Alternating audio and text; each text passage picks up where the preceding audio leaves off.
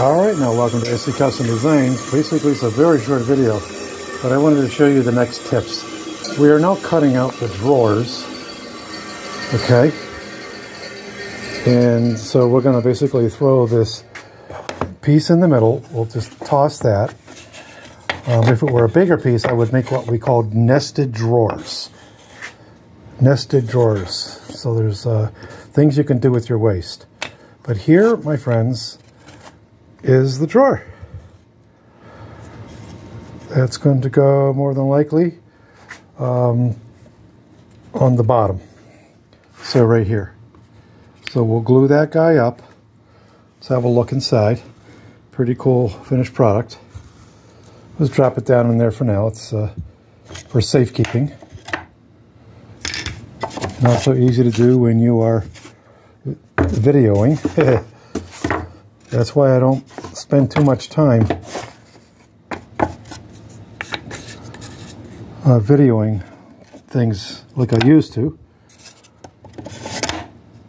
Okay, so there you go. That's There's that drawer.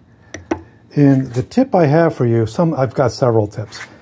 Um, first of all, make sure you have plenty of time when you're making these drawers. Okay, um, you're going to want to um, mark all your pieces. So let's take this drawer as an example. I, I write F and an arrow. That means front, and that's the up. I write front on the, the, uh, the block there. Okay, now that's going to go away, but why, why do I do this? And then the back. The back. And then if I turn it around, it says back up. Because life happens. Um, when I first started doing very intricate things like this, what would happen is I'd go away, I'd do a thing, I wouldn't come back to the next day, or everything got knocked over. You know, I have everything nice and orderly here, right? Correct? And so we're good. But what if I have to go away and come back again? Um, the good news about bandsaw boxes, uh, I might add, is they're always going to go back into the place they came out of um, at the end of the day. So you can always come back and say, oh, do you go there? Oh, no, you don't. Oh, look, you go there. Even though they look about the same size.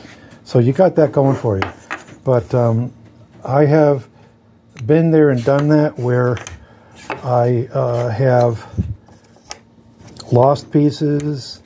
I've had to make pieces, so on and so forth. Um, here's an example where I can't even find the uh, the front and the back that I cut off. So I'm going to have to figure out what I did there. Okay, so we've got one, two, three, mystery man. So that'll be interesting to see where in the world it ended up. Just going to do a real quick scan here. Nope, I don't see it. So that's always fun. But, you know, at the end of the day, if I have to, I can always cut this off again and make some new drawers.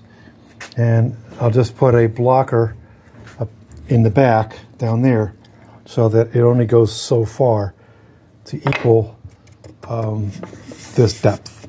There's always a way to do a thing. Now, this was pretty easy to do. What is the tip I'm going to share with you? When you come over, you're going to want to trace out where you're going to cut the, the, the carcass, the piece of waste out. Then you want to take your block and come up against your fence. You see the issue I'm going to have here? There's space at the bottom and no space at the top. The tip for you is adjust the table so that when you're cutting, you're cutting straight up and down. I've had too many apples out of that bag where I'm going to cut something. As you can see, look at this, how drastic this is for whatever reason. All right. So it's like this. Let's, let's turn this to the front. Okay. So we have that space on the bottom. Okay. You come over here. It's actually not too bad. So in your mind, you just have to say to yourself, hmm, give yourself, oh, let's do one more the back on the, the drawer I just cut out, this is actually pretty good. This is pretty parallel. All right. But on the one I just cut out, it was kind of like this. I'm going to exaggerate, okay? It was like that. So basically what you're going to want to do, and it's going to be hard to do while I'm holding the camera, um, but you're going to take the piece and you're going to say, you're going to draw, follow the curve, and just draw that line, okay? Sorry. just follow the curve. Okay, so that's that tip. Have a lot of time, my friends. Don't rush these things. When you get to the intricate uh, bandsaw boxes, you want to take your time. You want to figure out your outs. What if something goes wrong? Something can go wrong. So have a backup plan. All right, now these are going to be very tricky. Look how skinny they are for starters. So what I'm going to want to do, and the other tip for you are these lines that I'm going to be following with, with uh, the blade, they're suggestions. I'm going to say that again. Those lines are suggestions. Don't force yourself to follow them because if you do, you're going to possibly just screw up the whole stock and you have to make another one. Been there, done that. So go uh, give yourself, well, how they say, proud. Be proud on your measurements.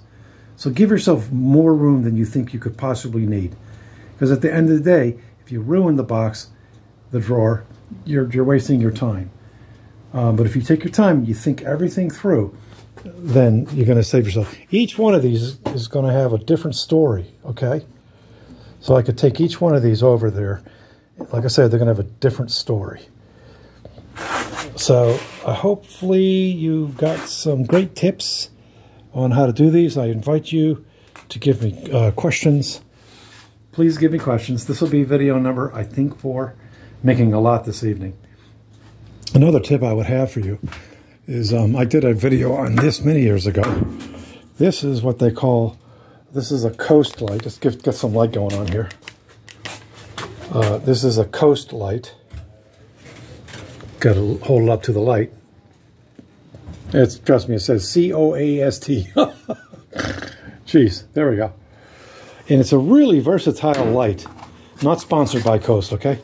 But look, the magnets are strong, probably rare magnets, and this thing can turn and flip completely around. In addition to that, this here moves as well. So that allows me to very quickly take the unit, go like that, turn it on, and it's got three different modes, by the way.